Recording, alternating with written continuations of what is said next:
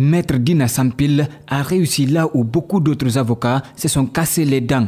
Amener Aboubakar Diakité à répondre aux questions déjà posées sans l'énerver. Est-ce que vous êtes surpris de voir le capitaine Dadis sain et sauf après avoir tiré sur lui?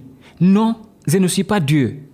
Pourquoi vous n'aviez pas accepté de vous livrer à la Cour pénale internationale? Je ne pouvais pas, parce que tout était fait pour me faire porter le chapeau du massacre du 28 septembre 2009. À qui vous imputez la responsabilité de ce qui s'est passé au stade ce jour-là Toumba répond sans détour au président de la République.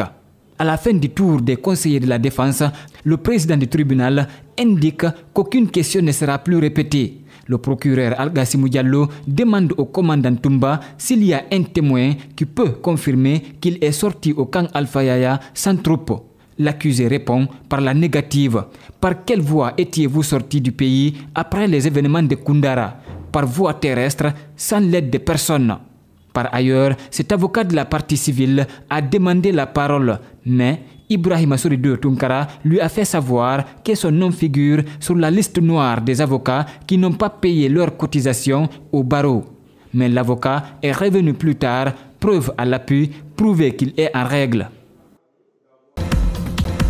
Le championnat amateur suit son cours normal en Guinée. Opposé au FC Bafila pour le compte de la deuxième journée, le club de la ville industrielle s'est incliné en déplacement à Forikaria. Cette défaite laisse un goût amer sur l'entraîneur d'Alustar, même s'il souhaite s'en inspirer pour les prochains matchs. Si nous, prenons, si nous regardons le match, euh, comment ça s'est passé, on n'a pas pu réaliser nos occasions qu'on a eues pendant les 90 minutes.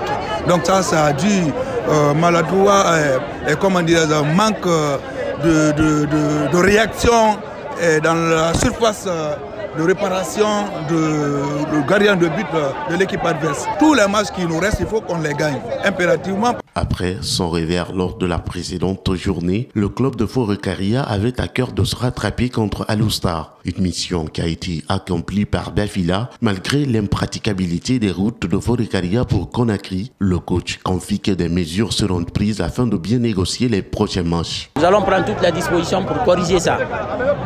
Les manquements là, nous allons corriger ça. On a joué chez nous, donc euh, il faut forcément, on a, on, a, on a dit forcément de gagner, donc il faut qu'on gagne. On a gagné. Donc c'est la joie aujourd'hui. Cette affiche de la deuxième journée s'est disputée sous les regards des autorités sportives de Forecaria et la victoire de Bafila n'a pas manqué de les ravir. Elles en appellent les joueurs et l'encadrement de l'équipe de tout donner afin qu'ils retrouvent la Ligue 2 cette saison. Eh, bravo aux encadreurs et aux supporters surtout. Les supporters, c'est le deuxième supporter joueur.